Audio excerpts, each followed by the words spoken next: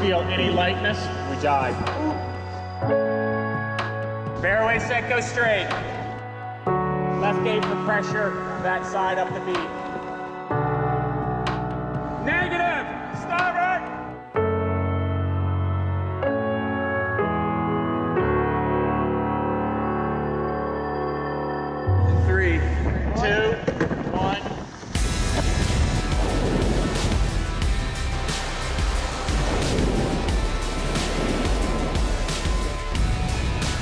Technology, performance, commitment, passion, emotion, drama. The 52 Super Series has it all. Five European venues, 12 teams, 25 days of racing. It is the best class, I think, uh, uh, in the world. World Championship titles are commonplace. This is a series for the best. From Olympic medalists to America's Cup victors, from inshore rock stars to offshore heroes, the dockside is awash with talent. We are completely full of people who have uh, been doing this for a long, long time. This is also a series driven by the owners at the helm of their machines. They go head to head with the best. Any mistake you make and this fleet gets punished. And if you're in the wrong spot, uh, the, the rest of the fleet will find a way to get in the right spot and uh, make you pay for it.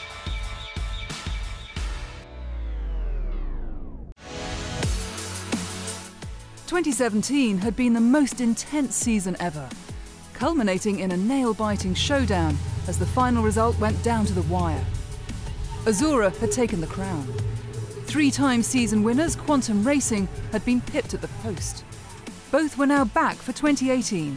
Both had one goal in sight victory. In a season that would prove to raise the bar even higher.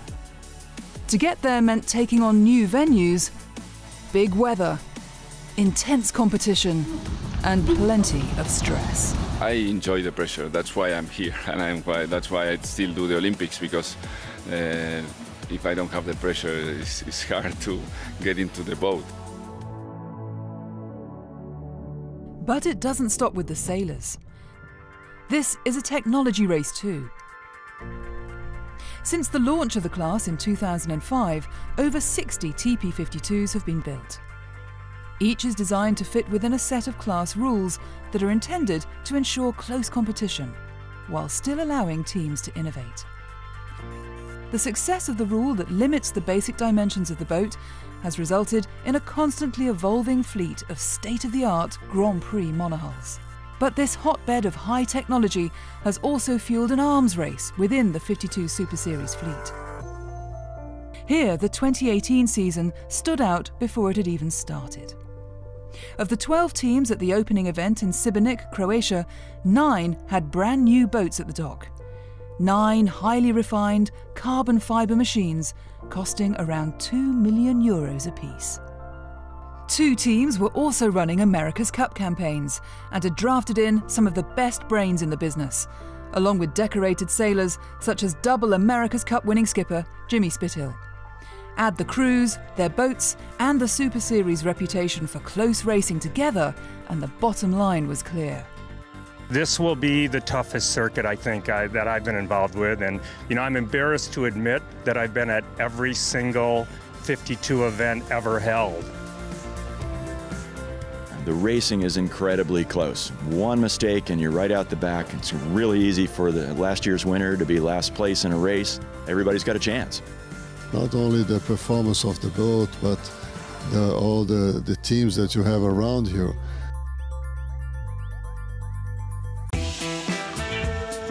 The Five Regatta 2018 season kicked off with two venues that were new to the series. Both were in Croatia, Šibenik and Zadar. From there, the entire circus then moved to Cascais, Portugal for the World Championships. Then Puerto Portals in Mallorca. Before heading to the final showdown in Valencia, Spain. As teams prepared to get the 2018 season underway in Šibenik, many were mindful of the needle match finish to the previous season, where the overall victory had gone down to the wire. On the final day, four boats could have taken the title. But it was Azzurra that took the crown. beating Harm Muller Spreer's Platoon and Doug DeVos's Quantum Racing to the silverware. And while none in the fleet bear grudges, it was clear that some felt that there was unfinished business at stake. Losing sucks. Never stops hurting. No, never stops hurting. So the moment it stops hurting, I should retire. So, who were the teams in the 2018 season? Ending on a high, Azzurra were keen to carry their winning momentum into 2018.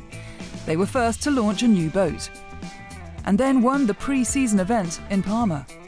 They had a new tactician, Olympic gold medalist Santiago Lange, after Vasco Vascotto had moved to Luna Rossa. On the face of it, potentially unsettling, although in reality they had swapped one genius for another. But they were taking nothing for granted.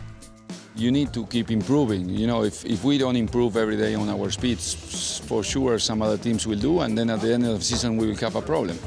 Harm Muller Spreer's platoon had won the tiebreak against Doug DeVos's Quantum Racing in 2017.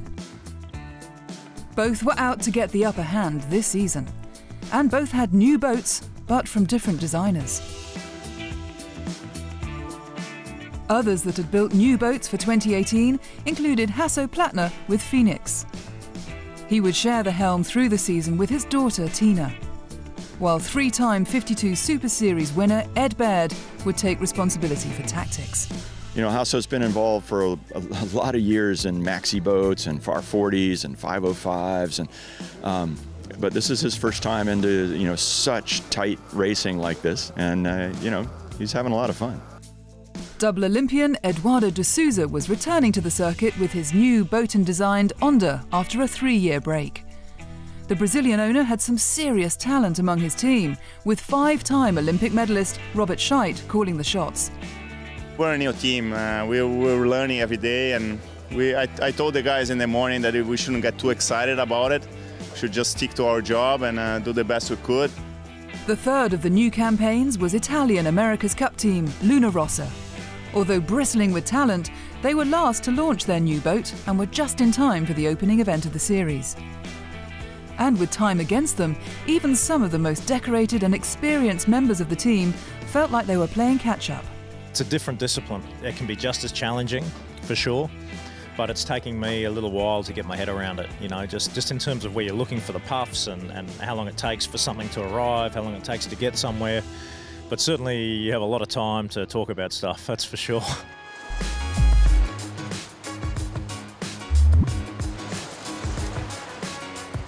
When the talking stopped and the racing began, it was clear that no one could take anything for granted.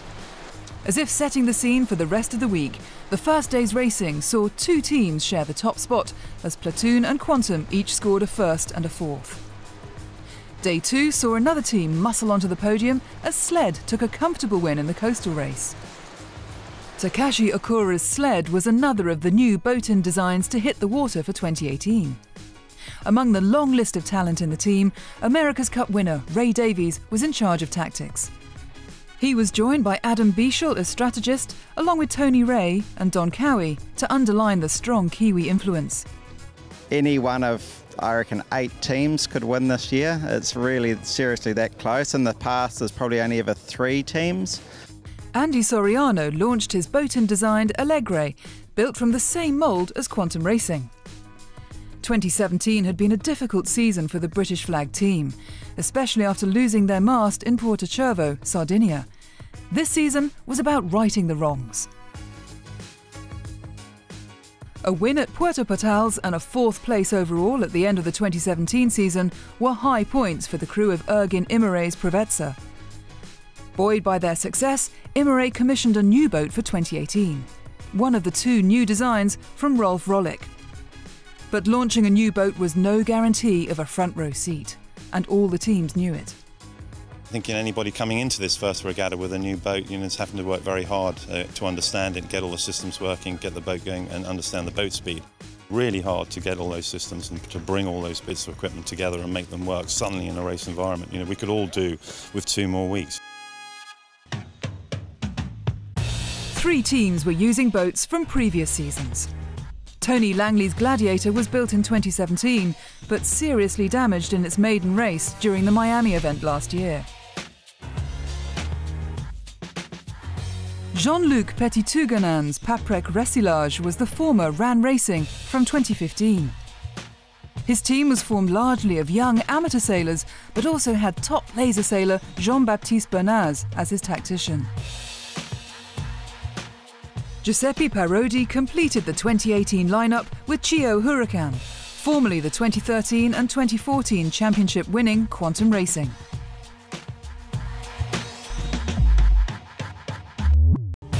It was the latest quantum machine that was now at the front of the fleet on day three, as the team won the first of two races. But then, just as the scoreboard started to show form, Paprec bucked the trend. The French team's solid win in the second race of the day proved how a largely amateur crew could still beat the big guns. It's fantastic for the team after our second place yesterday and uh, after this very bad result we had in the first race uh, today it was um, very important for the, the whole team to to get concentrate again on the on our target and uh, and to have a, a good result. But the amateurs' victory was short-lived. Day four saw Quantum take the first win. Provezza took the second. The final day's racing proved how tough it was to maintain a winning streak. Here, Quantum finished seventh, enough to take the overall win, but their path to victory had not been easy. Down the first run, we lost a lot of distance and boat positioning, and that, you know, that's disappointing because got to sail with confidence. You know, the guys did such great work all week long, really, being critical, but it's good to win. Five teams had taken wins in the eight races. Even with points now on the board, writing the form guide was going to be harder than ever. For Quantum Racing, success at the opening event had delivered the first key step in a detailed campaign plan. But whether it's the first or the last regatta of the season, the team's strategy starts with an analytical approach. Stay with us for part two to find out how when we go behind the scenes at Quantum Racing.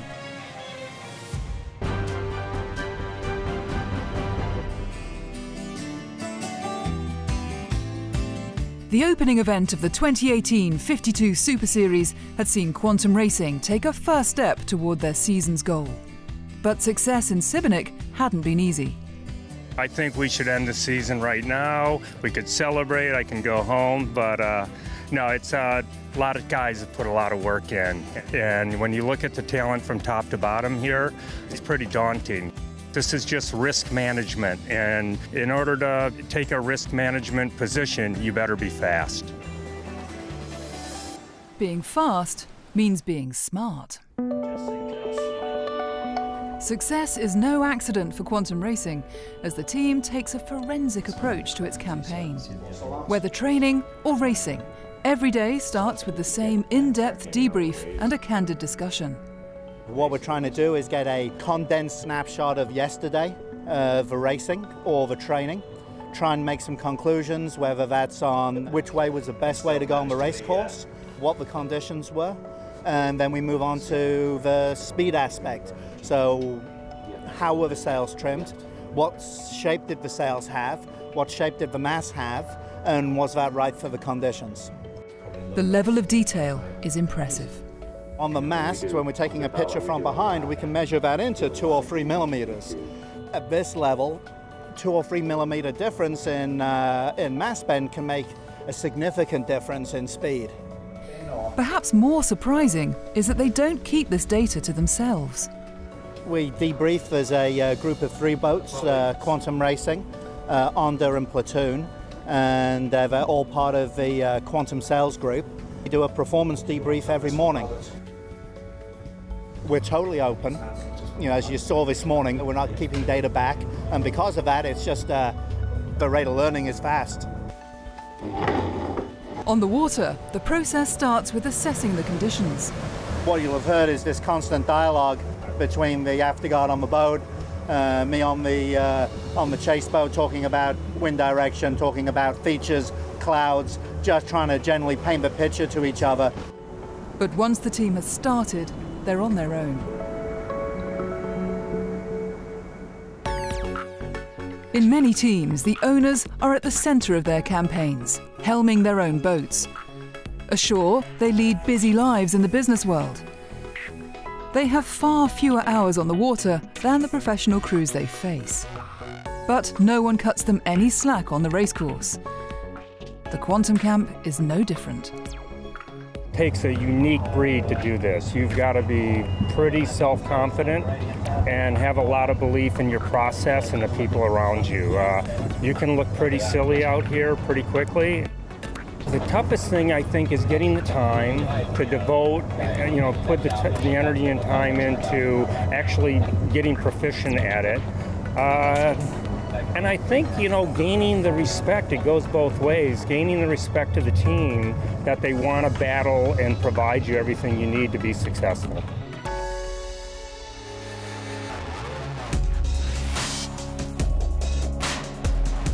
Šibenik had been a rude awakening for several of the top teams.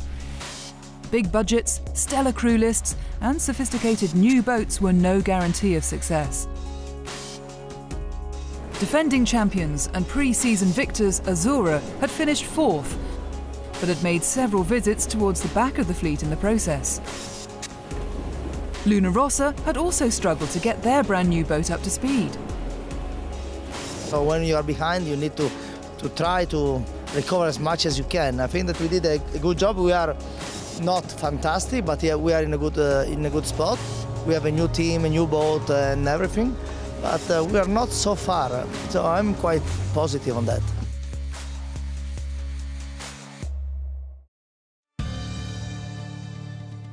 Just four weeks later, the fleet was back on another brand new racecourse 40 miles along the Croatian coast in Zadar. The break between regattas had allowed those with new boats to play catch up. Every team was now capable of taking a win. We feel it's a one design class now. All of the boats are so similar that it's whoever does the um, the basics well. You know, good start and keeping out of trouble. And as the first race of the second Croatian event got underway, keeping out of trouble was a popular strategy among the teams, as the leaderboard took another shuffle. Luna Rossa came off the start line in fighting mood, delivering a perfectly executed pin end start.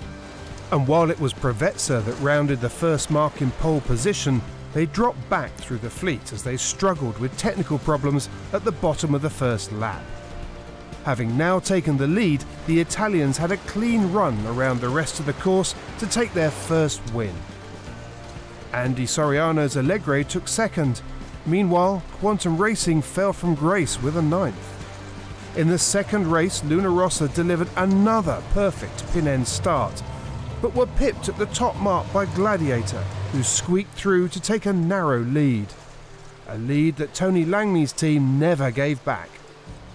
With a first and second on the opening day, Team Luna Rossa dared to hope that their campaign had at last turned a corner. Yet deep down, everyone knew that the odds of more big shuffles on the scoreboard were high. Day two was a perfect example as a newcomer to the class took the first win of the day. Tina Plattner, helming Phoenix, turned heads with an impressive performance. She was also the first helmswoman to win a TP52 race. I think everyone is really upbeat and excited. For me, it's going a lot better than I expected it coming here. So I think we're taking it a day at a time. It's also with all the shifts out there, it, it makes it a bit easier, even if you're not right up there from the word go. In the following race of the day, Sled took the coastal race once again, having won this race in Šibenik a month earlier. There was one team that were playing it cool, as Platoon delivered a consistent performance, taking a second in both races. But some of the former top dogs were finding life tough, as Quantum and Azzurra failed to find the form that has frequently made them the favourites. For Quantum, it had been a bittersweet day. It was disappointing to hit Platoon at the top mark and break our prod off. Um, but at that moment, if you'd said we were going to pass four boats in the race, I probably would have said, You're crazy. And we did. With four scores now on the board, it was clear that the performance of the boats across the fleet had narrowed. Yet the original intention of those that had built new boats for the 2018 season was to engineer a performance advantage. Together, they'd spent around 20 million euros to do so. So, what had been behind the new designs and what were teams seeking to achieve? Basically, we have a complete new generation of boats here because so many owners decided that they want to have a new one. So I think this is uh, quite unique, and of course, every generation has some improvements. And uh, the emphasis on, on, let's say, the first upwind legs and, and the marks have been so tense now that they just have to, let's say, concentrate on that part. And the biggest gains that the class has made is on, on the way the balances works on, on these kind of boats. So they really now are, let's say, set up. They just want to go upwind. They don't want to go anywhere else. The balance of these boats, the biggest improvements, well, improvements, part of it, of course, foils, how foils twist, and also position of foils uh, refer in, in, reference basically to the sail plan. So they're sailing with much bigger angles, rudder angles, and all kinds of stuff like that. So when we make improvements from generation to generation, we still call it like seconds per mile. That means basically we call it like a, a good improvement if we talk about two seconds per mile. That means four seconds on, on a beat, which is less than boat legs. And that's what we are looking for. That's what we're trying to find. Of course, the combination of improvements of sails and rigging and all the other stuff makes the differences probably bigger. But it wasn't just below the waterline that had seen tweaks and developments in the new designs. I think uh, one of the one of the main upgrades from uh, the 2017 design into this one. Uh, firstly, you see in the cockpit, you've got a bit more flare on the on the cockpit sides, which makes the cockpit actually uh, much wider uh, than if you look back at certainly Gladiator, which this is the same same design boat as. Uh, the big standout thing for Azzurra is their, their jib tack trough right at, right at the front, um, creating better airflow over the over the jib. Um, I think it's something that the next generation of boats that are built will, will, a lot of them will have that. It's the only boat in the fleet that has it. And I think a lot of people probably looked at it when it first came out and were quite jealous they had it. And uh, it will be a feature in the future for sure.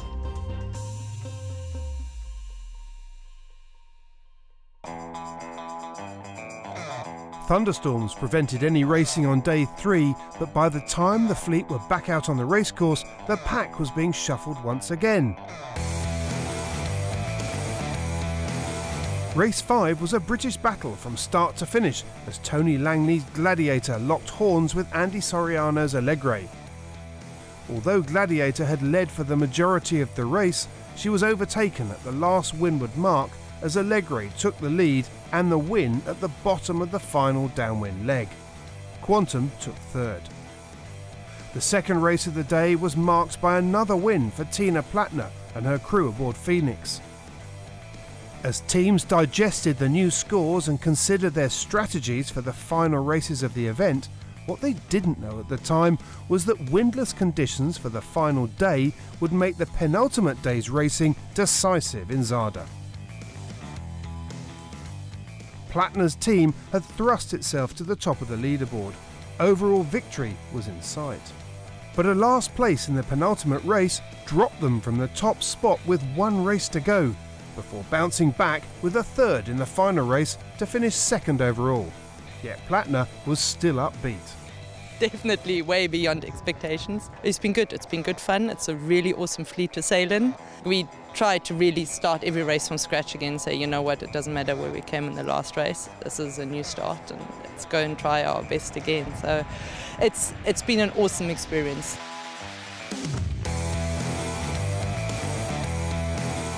Although they'd only scored one win throughout the regatta, Luna Rossa had spent most of the week in the leading group. Maintaining a consistent performance was sufficient to turn their fortunes around to take the overall win. I'm a lucky guy. I mean, I have uh, uh, Bruni as a driver, I have a James Spithill as strategist. So uh, I have a Pietro Sibello on the main sheet. I mean, I'm a lucky guy. I'm very lucky to have uh, uh, this kind of guys so close to me. They help me a lot to take the decision. Zadar had seen Luna Rossa take the crown. Phoenix had shot to fame. And Sled had now delivered two podium finishes. But while Quantum considered what had gone wrong in Zadar, they were still leading overall. Just. From here, the fleet faced a big step change. From the Adriatic to the Atlantic, the next venue in Cascais, Portugal, and its reputation for punchy conditions promised to put greater demands on the crews. It's still that cliche, just trying to take it one regatta at a time and one day at a time. But uh, we know we move into quite different venues. Cascais can throw uh, a lot more breeze and a lot more waves at you, so that's going to be a whole new game for us there. It was nice to have uh, the last two days here with a bit more breeze than we'd had most of the season so far. So we uh, came away hoping to get some stuff in 14 knots, and we have, and we're pleasantly surprised with where we're at. But uh, throw the waves in it, and it'll all become a little bit different again. As it turned out, the understatement of the season. Cascais would deliver all this and plenty more. Stay with us to see why.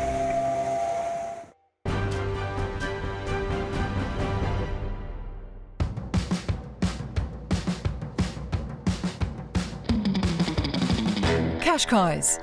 This small, picturesque Portuguese seaside town comes with a big reputation.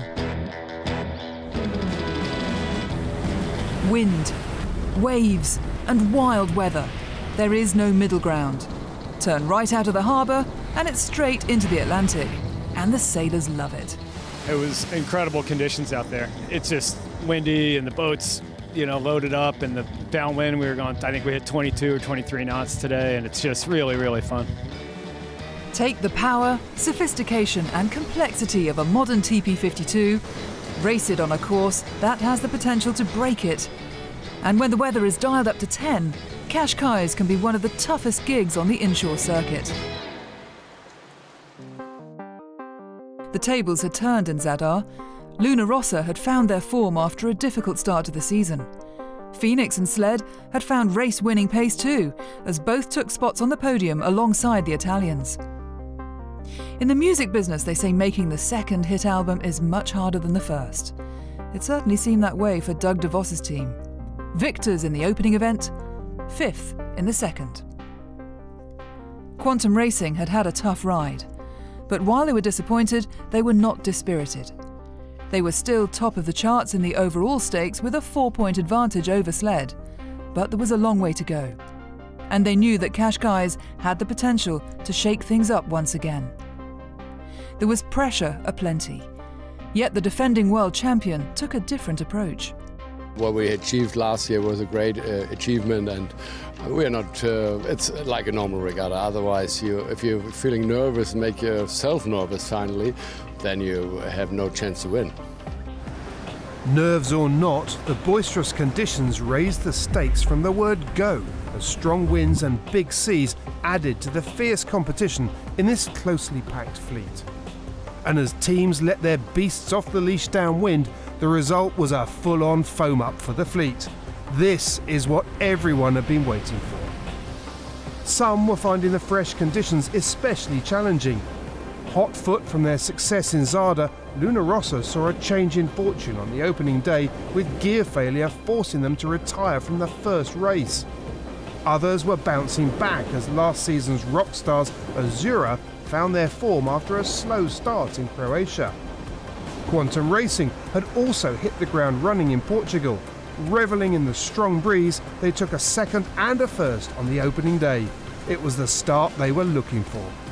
That was Champagne Cascais conditions, and uh, I would suspect that's exactly when the fleet and the series committed to coming here. That's why we came. So just an awesome day of yachting, and it was a great way to start the regatta. You know, Azzurra had a great day as well. They sailed really, really well, and so yeah, can't complain.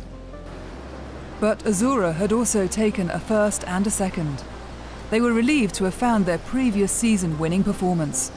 The guys did a really good job sailing the boat very well. We didn't do any mistakes as we have done in the in Zadar for sure. And so I think when we put all together, then the, for sure the level of the team is good enough to be up there.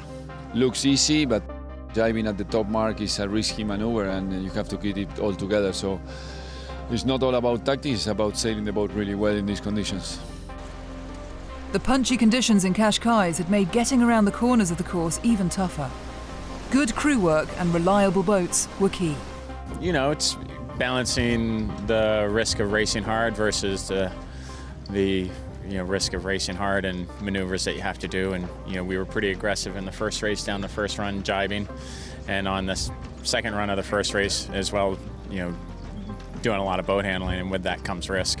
You know, that last race we jibed and when the spinnaker popped, we flew the spinnaker sheet off the over the prod, and so we basically, fortunately, we were on lay line and uh, didn't have any more jibes into the finish. But it's stuff like that, you know. So you you aggressively boat handle, but it's blowing 30 knots of breeze, and it always has the potential to go bad. With the conditions putting more pressure on crew work, so the focus started to shift to the technical details of the machines themselves. So, what makes a modern TP 52 tick? Provezza's boat captain, Joe Lees, provided a tour and highlighted just a few of the details and design refinements aboard the current generation of TP 52s. Well, here we are on board uh, Team Provezza. As you, as you see, all the boats are a 52 foot long boat, and they're all very much in a box rule. Um, but every boat has its subtle differences, and this is what's developed over the last sort of 15 years, really, of this Formula style class boat downwind over the waves, everybody's standing really far back on the boat. So we actually have positions far back in the boat. And this is a thought process which has come about over the last few years, once again, pushing the limits to the absolute max. So you'll see the guys all standing at the back of the boat, everybody using their foot chocks here to actually brace themselves in position. Everybody's high up on this side. What we have further back in the boat is you've always got a grinding system at the back of the boat. So once again, very much the development of how we're moving things backwards in the boat, keeping weight aft. Obviously, all the systems super lightweight. So up on the rig, we've got the running backstays. They have deflector strings on them, which are controlled by hydraulics. And these are the little control lines which control those. What you'll see on board the boat are lots of uh, orange dots. Now the orange dots aren't a part of the design for how the boat looks. It's actually a very crucial part of how we trim the sails. What we utilize is the same color orange bands on the sails and then the same color orange on the deck.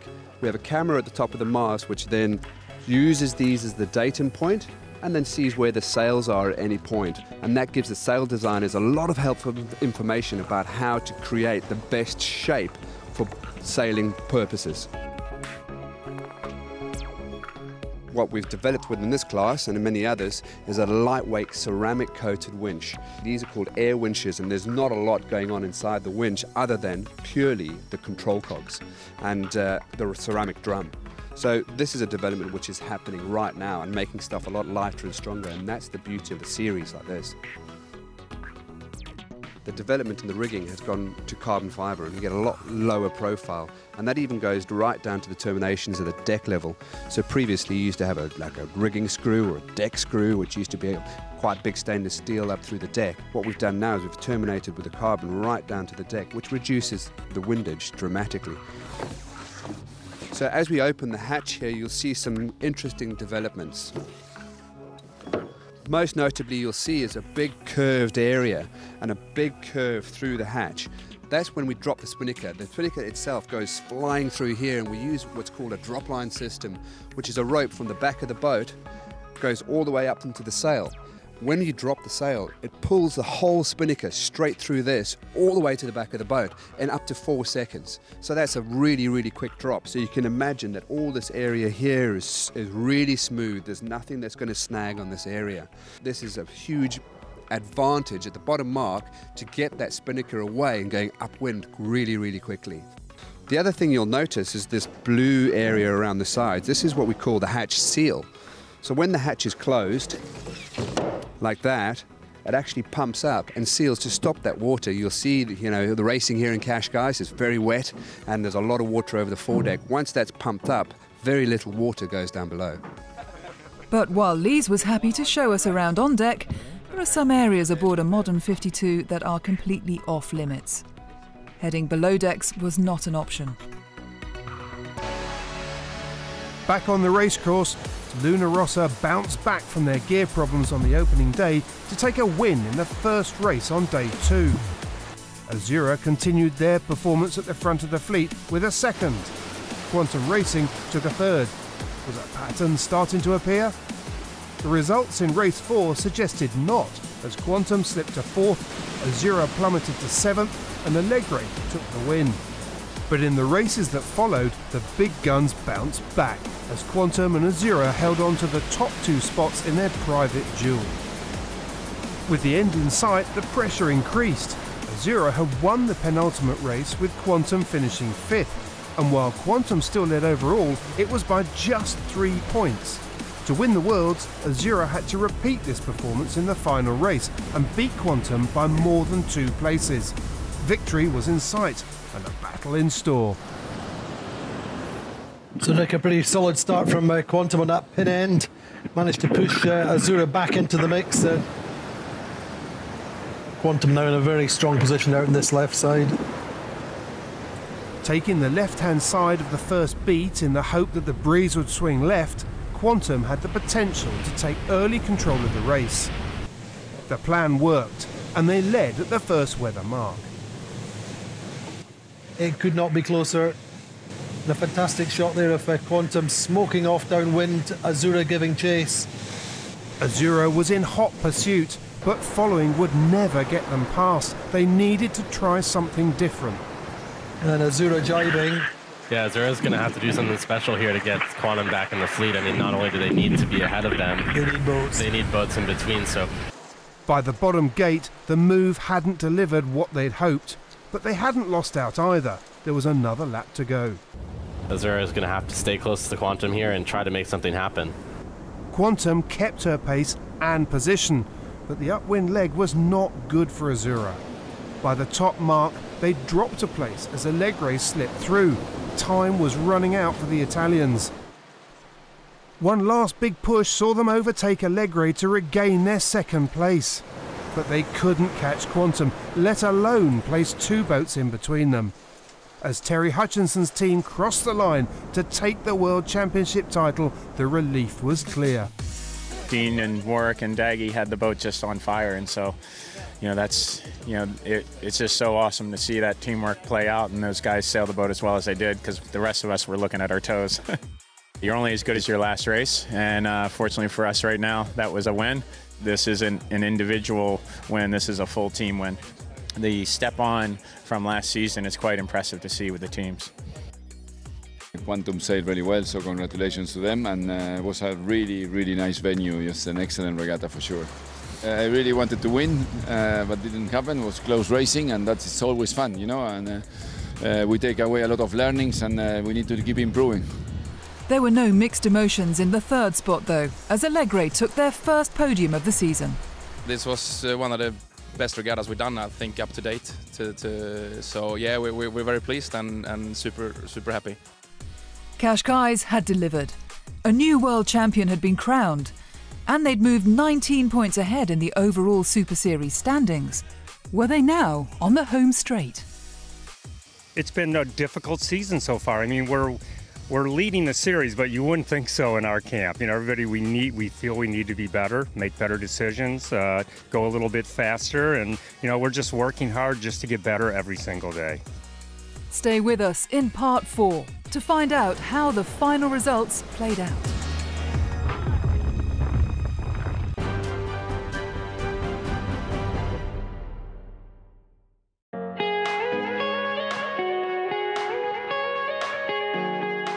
Puerto Portals, Mallorca. The penultimate event of the season, and the pressure was building. Not least for the series leaders. Uh, you feel pressure all the time in this circuit, um, and, and, in this venue because it is so unpredictable. It, it, you know, the wind comes in, and how it comes in is, is not always consistent. You know, little puffs mean a lot uh, you know, of difference on the race course. In short, luck would play a part.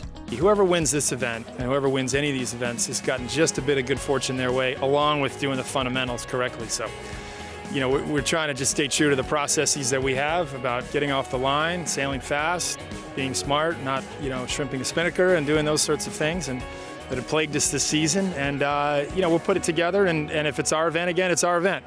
But, uh, you know, at this point, if we can just put in a, a good result relative to this season, we're going to be happy. The first hurdle came when the breeze refused to arrive. When racing did get underway on day two, few were using the luck word, yet it was clear that anyone could go from boom to bust in a heartbeat. Platoon provided the evidence taking first blood in the opening race, only to come last in the second. Provezza and Azzurra also won races, but also scored results in the bottom half of the fleet too. The Grand Prix roller coaster had started once again. After five races, five different teams had taken wins. Consistency was as hard to get hold of as a bar of soap in the bath. You want to sail good, and if you don't sail good, you feel upset or you feel the pressure to change it around. So more for me, it's more the pressure about sailing well and the, the challenge to sail well the boat, and uh, that pressure is always there, no matter what you do. The secret is to try to keep the highs from getting too high and the lows from getting too low. You know, I, I know it's a cliche, but it's true, and that's that's the way to get through these hot regattas. Meanwhile, the unstable and changeable conditions continued to mix up the results. Avoiding a bad result rather than setting hearts on a win was the strategy adopted by most of the teams. Here it was Quantum that were performing best. Yet the final race took the overall result down to the wire. DeVos's team kicked off with a six point advantage over Azzurra, who in turn were on even points with Platoon. Behind them, Phoenix were just two points adrift. Given the turbulent nature of the results so far, the event was still anybody's game. And the final results proved it as Azzurra took the win, followed by Platoon and Phoenix. Both finished on the podium. Yeah, it's been a really tough regatta for us. Um, we've been really comfortable with our speed all week. I think we're probably the fastest boat out there, but uh, we got ourselves in some situations. We've got three penalties, which cost us quite a few points uh, at the end of the day. So, you know, but we're, we're happy to be on the podium, obviously. Quantum was fourth in the final race, but their points buffer had kept them on top to take the event win by just three points. What a regatta, huh? Right to the very last race, to the very last leg. You, you never know who was going to win, so uh, it was spectacular. The guys, uh, the whole team was just was wonderful. The competitors were fabulous, and so to win was really satisfying. In the overall stakes, their lead had opened up. Quantum were now ahead by 32 points, but they still refused to take anything for granted. No lead is safe. Everyone is still working on it, focusing on it, so we're going to have it uh, full on, I'm sure, right to the end. Sustainability is a hot topic for the 52 Super Series. Aside from the serious effort that every team makes in improving its green credentials, the event organisers and crews work with local communities at each of the venues to help spread the word. From beach cleans to education programmes. Throughout the season, the campaign has taken several forms and built awareness of the need to take action. And while teams regularly help with clean-up operations, local children are also an important part of the project that helps to drive home the choices that we all make. It's great to have all these kids down here uh, doing the cleanup, but in reality, this stuff shouldn't even be here. So, uh, you know, it's about reducing, uh, you know, your, your plastic use every day from simple things as having a reusable water bottle, uh, you know, plastic cups in the morning, uh, styrofoam containers for lunch, you know, all that stuff should be eliminated. In my personal life, I always carry a water bottle and always refill it. Uh, try to cut out as much plastic as I can you go to a golf course and you, you get some water and you, you see them using styrofoam cups, plastic straws, plastic lids, and you know you, you really got to make an effort, and not just here at these regattas, but when you go home and and you know you say something to people and say, hey, look, it'd be really simple change to instead of going styrofoam, go paper, something that, that breaks down and biodegrades, and if everyone does that, has that same attitude, I think uh, it'll go a long way in the future. Kerry, our team logistics manager, and I, we're quite keen on doing things for the environment. And Kerry's worked for a company that does sustainable products and stuff. So she's quite big on making sure we have glass bottles and our rubbish gets separated. And she's like going to other teams and telling them how they should or shouldn't be doing. We want to do our part out there. It's important. We need to keep the oceans and the environment clean. We need to keep the air clean. So we're definitely trying to do our bit too. We know more about the cosmos than we do about the ocean. So I think for the future generations, as a surfer myself, it's, it's sad. It's sad to see. So I think more care and responsibility for the life and the planet that we live in.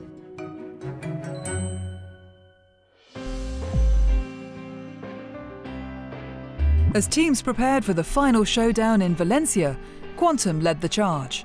Having stretched out a 32 point lead over second placed Azzurra, the team had a comfortable buffer, even if they were reluctant to admit it. But what drives a big and successful sailmaker to place its reputation on the line by committing so much time, money, and resource into racing in the hottest monohull fleet in the world? At the beginning of the season, Quantum Sails President Ed Reynolds had a clear view. You know, it's uh, sort of like the motor car racing win on Sunday, sell on Monday. I mean, it brings recognition to the company. We use it for product development, our IQ program, which is the design software we use to design all the sails. This validates everything we do. And, uh, you know, it's uh, there used to be a big ad with one of our competitors, the virtual wind tunnel. Well, this is the virtual wind tunnel, and this is where we develop and find out what works and what doesn't work. By the end of a busy season, in which Quantum Racing had worked closely with other teams throughout the series, he explains some of the key reasons why they are involved. Everybody in the company is so tuned in, so excited about it, so proud. Uh, you know, that impact, it obviously has raised our profile and you know we've proved to the world we we have the capabilities to compete on any level with any other supplier in the industry but the internal impact is the one that really strikes me of how important it is to our team. People need to know how to measure, how to get better. People want to be better at this sport. And you know, it's very difficult. There's unless you're at this level and you have the resources to hire some of these top pros, that type of information isn't shared throughout the different stratus of sailing. As the fleet arrived in Valencia, picking a favourite looked easy. At each of the four previous events, only two teams had won. Quantum had taken three victories, Luna Rossa won. The odds for the season's ultimate victor were surely set. Yet the intensity of the racing and the number of teams that had been on the podium throughout the season painted a different picture. Of the 11 on the circuit, six had shared the champagne showers. On the other hand, Quantum Racing had never won a race at the two previous events in Valencia. While Azzurra, who was second in the overall stakes, had cleaned up in the 2012, winning five of the eight races. To skew the odds even further, there was local knowledge aplenty in the fleet, gleaned largely from previous America's Cup cycles. Among the long list of former Valencia residents, Sled's Ray Davies, Team New Zealand's long term tactician, knew this area like the back of his hand. Luna Rossa's Jimmy Spithill had completed two cup tours here, winning the second aboard Oracle Racing's Giant Try. I actually spent six years in Valencia with the campaign before with Luna Rossa, so it was, yeah, I really enjoyed the culture and the place, and, and it's very, very, uh, you know, challenging sailing on this racetrack. No surprise then that Quantum Racing were taking nothing for granted just keep improving and trying to improve anyway, learning, and, and so it felt better.